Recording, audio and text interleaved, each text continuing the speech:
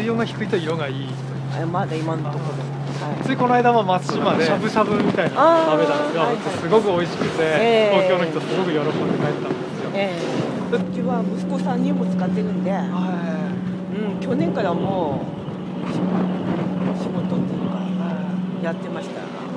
早くからもんだねええ去年の10月ああそうですか、うん。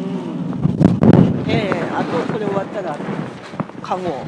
タコタコ漁ですタコねタコ。とああタかコね、はいはいはい今までと違う感じなんですかね、うん、なんか取れないものも取れるようになったりおとかかそういうのもあるし、ね。あと、うん、今度取れないっていうのもあるしある。いろいろなりじゃあやりながら探りながらっていうそうです感じなんですね。ね。はい。あの例年から比べると、い。結構高い値段で取引されてるあそうですか。感じなんだけど、はい。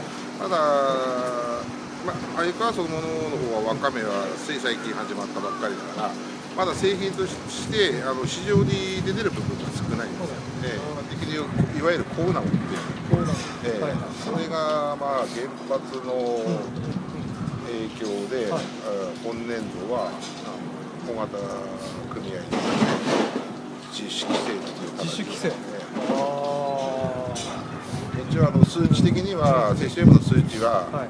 まあ、基準に満たしてるっていうくらいの数値なんだけども結局会人さんの方でそれを買ってまあ土壌被害とかでね結局売れない可能性も